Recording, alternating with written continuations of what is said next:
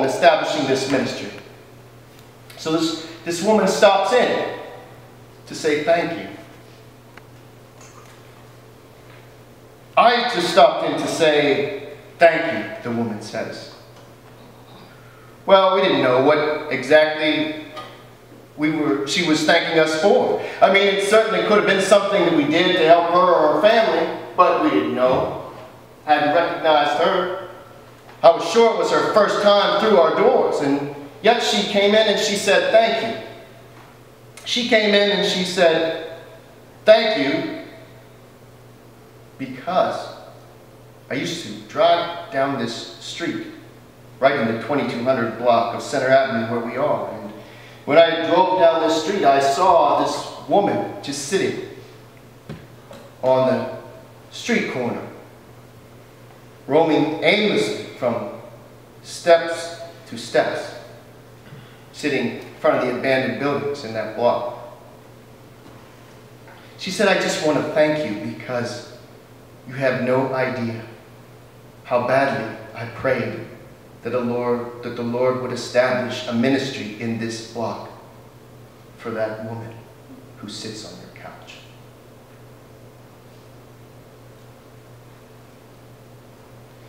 We began to see how the difference in our approach, the difference in our perspective, also came together with the prayers of people who were suffering in these communities.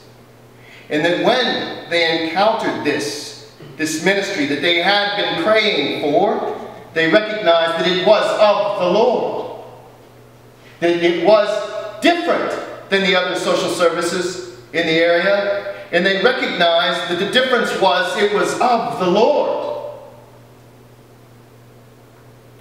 And that the work that Orthodox Christians had been doing by diligently trying to establish ministries from an Orthodox perspective were in response to the prayers of the suffering and brokenhearted.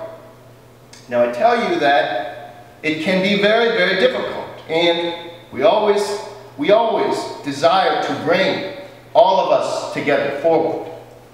Those who are suffering, those in our churches, Sometimes we're not always on the same page. We desire everyone to be. But we're not always at the same place, at the same time.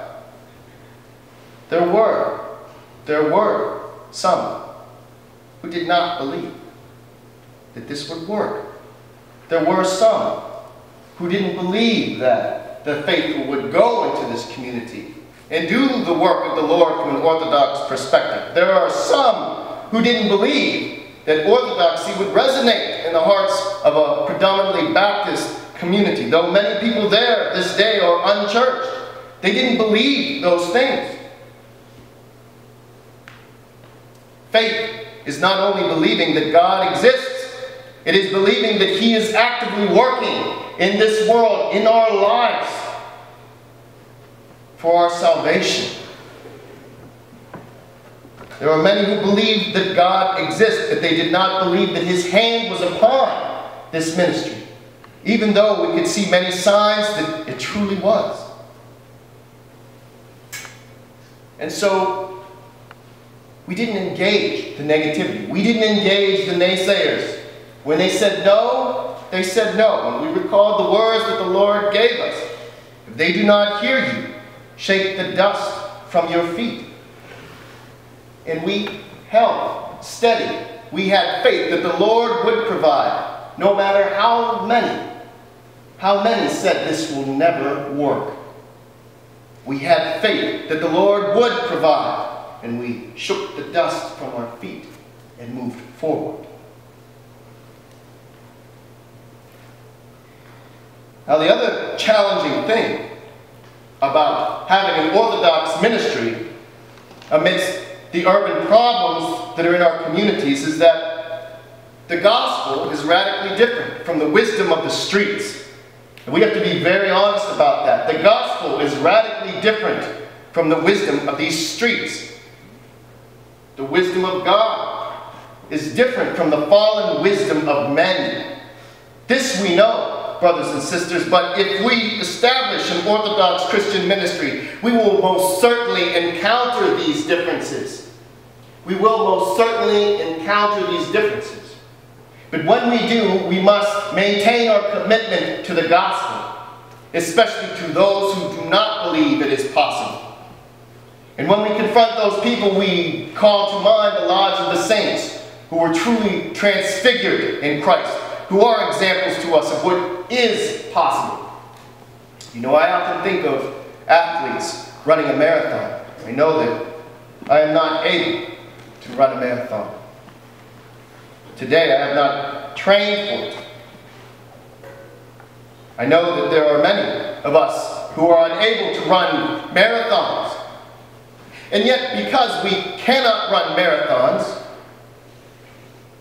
we mustn't say that it is impossible to run a marathon. There are many people who are unable to run marathons. And because they are unable to run a marathon, where they're, where they are today in their life, because they are unable to run a marathon, they say that no one is able to run a marathon. And brothers and sisters, that is pride. And this we encounter on the streets each and every day. Love your enemies. And some will say, in days of old it was maybe possible to do that, but this is the year 2012. It is no longer possible to do that because where they are in their lives right then and there, they are unable to. But we know that we must maintain a radical commitment to the gospel and proclaim a gospel of repentance, a gospel of love, even when confronted, even when confronted with the fallen wisdom of the world, which teaches us that we mustn't, we cannot forgive and forget, that we cannot love each and every one that comes our way. We know that we can. And that by God's grace, all things are possible.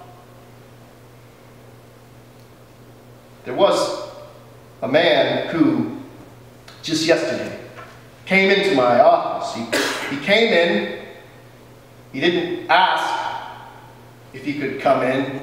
He came in, and uh, he sat down. After he sat down, he asked, do you mind if I sit here a spell? Of course, I said no, and so he began to ask questions about the perspective that we had. Because he had come to notice that when confronting the urban challenges that we confronted each and every day, we said a certain word a lot. We said love a great deal.